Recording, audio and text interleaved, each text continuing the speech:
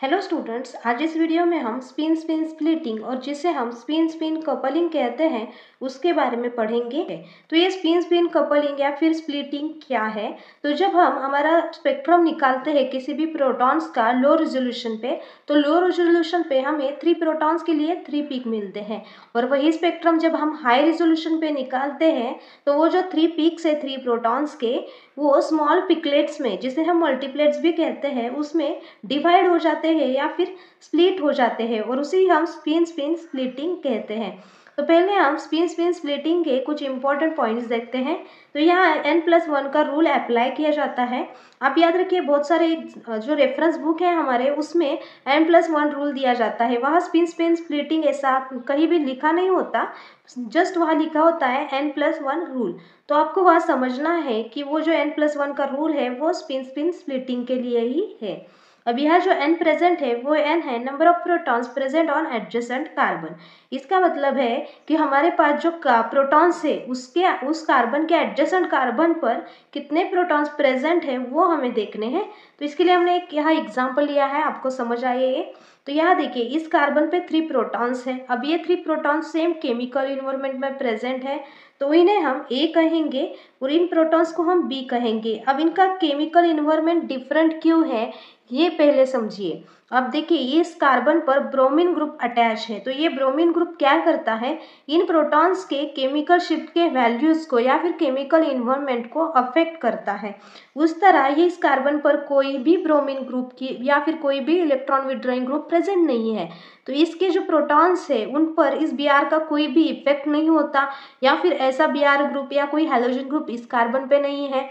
इस वजह से इनका केमिकल इन्वायरमेंट इनसे डिफरेंट हो जाता है और इसे हम ए कहते हैं। तो ये दो डिफरेंट केमिकल इन्वायरमेंट के प्रोटॉन हैं, इनकी केमिकल शिफ्ट की वैल्यूज़ भी डिफरेंट होती है। तो अब यहाँ देखिए, इन्हें हम ए और बी कहा। तो अब अगर हम ए के प्रोटॉन्स के लिए पीक या फिर स्प्लिटिंग देखते हैं पीक की तो उसकी स्प्लिटिंग डिपेंड होती है उसके एडजेसेंट प्रोटॉन्स पर। प्रोटॉन्स का पीक कितने मल्टीप्लेट्स में स्प्लिट होगा, ये डिसाइड करते हैं उसके एडजेसेंट कार्बन पे कितने प्रोटॉन्स प्रेजेंट है। अब यहाँ टू प्रोटॉन्स है तो यहाँ हो जाएगा एन प्लस वन यहाँ हमें, हमारा एक सिंगल पीक यहाँ थ्री मल्टीप्लेट्स में स्प्लिट होगा। इस तरह स्प्लिटिंग निकालते हैं। उसके लिए ये एन प्लस वन का रूल है। आगे देखिए non equivalent proton show spin spin coupling that is that proton present in different chemical environment इसका मतलब है कि वो जो प्रोटॉन है, उनका केमिकल इन्वायरमेंट डिफरेंट होना चाहिए। जैसे कि हमने यहाँ देखा, उसी के साथ साथ वो नॉन इक्विवेलेंट होने चाहिए। नॉन इक्विवेलेंट का ही मतलब है वो एक दूसरे से डिफरेंट होने चाहिए। वो सेम नहीं होने चाहिए, इसीलिए वहाँ डिफरेंट केमिकल इन्वायरमेंट कहा गया है। अब इक्विवेलेंट प्रोटॉन कौन से होते हैं, ये देखिए। अगर यहाँ आर की जगह कोई प्रोटॉन प्रेजेंट होता तो इन्हें हम इक्विवेलेंट प्रोटॉन कहते हैं। और ये जो इक्विवेलेंट प्रोटॉन है, वो कभी भी कपलिंग शो नहीं करते, क्योंकि इनका केमिकल इन्वायरमेंट सेम है तो ये सेम पीक देंगे। सेम पीक मिलेगा इन इस वजह से स्प्लिटिंग शो नहीं करते। अब यहाँ केमिकल इन्वायरमेंट डिफरेंट है, ये दो टाइप्स के प्रोटॉन्स है। इस वजह से ये कपलिंग शो करते हैं। आगे का पॉइंट देखिए chemical shift values does not change अगर हमारा एक सिंगल पीक स्मॉल मल्टीप्लेट्स में डिवाइड हो रहा है तो वहाँ हमारी केमिकल शिफ्ट की वैल्यूज़ अफेक्ट नहीं होती। हमारी केमिकल शिफ्ट की वैल्यूज़ एज इट इज़ रहती है। Highly different chemical environment protons does not coupled इसका मतलब है, जिन प्रोटॉन्स का केमिकल इन्वायरमेंट हाईली डिफरेंट मतलब हमारे जो प्रोटॉन्स है, उनसे बहुत ज़्यादा डिफरेंट है, वो पीक शो नहीं करते, वो कपलिंग शो नहीं करते। वो कैसे? जैसे कि N H O H S H ये जो प्रोटॉन है, वो कपलिंग में पार्ट्स नहीं लेते, वो स्प्लिटिंग शो नहीं करते। स्पीक, पीक की जो स्प्लिटिंग है, उन्हें हम पिकलेट्स या फिर मल्टीप्लेट्स कहते हैं।